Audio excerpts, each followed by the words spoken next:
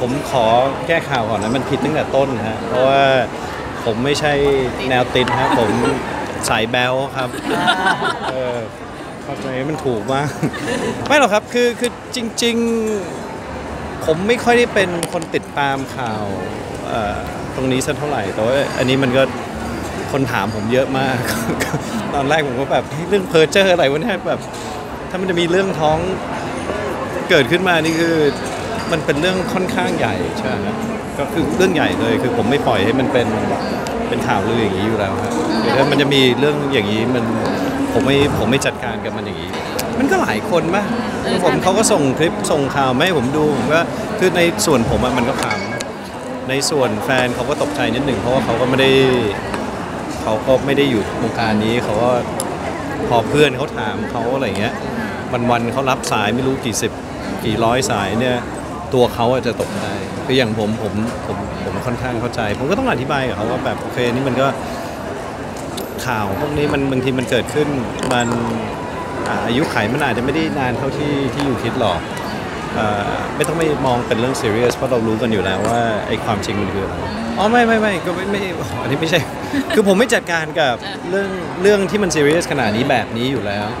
คือแล้วถ้ามันมีเรื่องนี้ จริง ๆ ผมไม่ปล่อยให้มันเป็นข่าวลือ เพราะมันเป็นสิ่งที่คนเราควรจะภูมิใจฮะแล้วก็มันไม่ควรจัดการอย่างนี้อยู่แล้วฮะคือถ้าถามผม ไม่ไม่ยังไม่ได้คิดฮะกับ แล้วก็อย่างที่รู้กันอยู่ ผมก็ไม่ได้เป็นคนที่มองเรื่องแต่งงานหรือเรื่องมีครอบครัวเป็นจุดหมายแบบยิ่งเป้าหมายใหญ่เป้าหมายใหญ่สุดในชีวิตเหรืออะไรเงี้ยฮะคือผมถ้ามันเกิดขึ้นก็เกิดขึ้น ไม่ได้แอนตี้แต่ไม่ได้มันไม่ใช่เป้าหมายแรกๆมันก็ขำอย่างเดียวก็ยอมรับว่าพอสองวันเข้าไปยังไม่เลิกแล้วก็สามวันเข้าไปคนยังโทรหา หาเขาไม่เลิกอะไรเงี้ยเขาก็เริ่มมี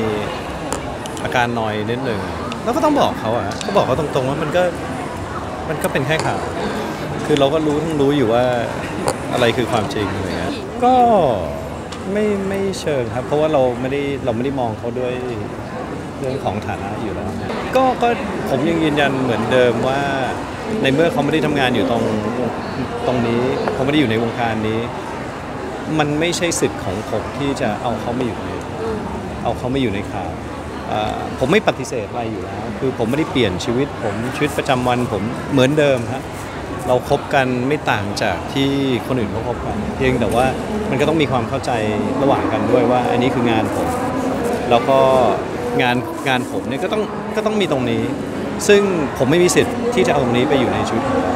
ก็ต้องก็ต้องให้เกียรติตรงนี้ก็เลยไม่มีปัญหาประมาณต้นปีต้นปีก็ก็ไม่ได้ก็ก็ไม่ได้นับว่านานมาคือก็ก็ดีก็เข้ากันดีอะคือ อย่างที่ผมเคยให้สัมภาษณ์มาก่อนหน้านี้ก็คือว่าผมแค่รู้สึกว่าถ้าผมจะคบกับใคร ในในในช่วงเวลานี้ของชีวิตในวัยนี้เนี่ยผมรู้สึกว่าผมต้องมองตัวเองให้ขาดต้องทำอะไรให้มันละเอียดขึ้นอ่าอันนั้นนะสำคัญแล้วไอการที่เราเข้ากันได้หรือไม่ได้อันนั้นมันเป็นเรื่องเรื่องปกติอยู่แล้วเลยถ้ามันจะดีไปเรื่อย ๆ ในอนาคตเนี่ยมันก็ต้องรู้จักมองตัวเองด้วย มันไม่ได้รีบฮะไม่ได้รีบ คือผมผมไม่ได้ น่ารักนะคนในวัยนี้แหมแหมมันทำไมมัน รู้สึกเจ็บเจ็บเอ่อมันอย่างที่อย่างที่บอกไม่ไม่ใช่เป้าหมาย แต่ถ้าถ้าถ้าพร้อมแล้วก็มีก็ก็โอเค ก็ไม่ได้ไม่ได้ติดเลยฮะแต่ไม่ได้รีบ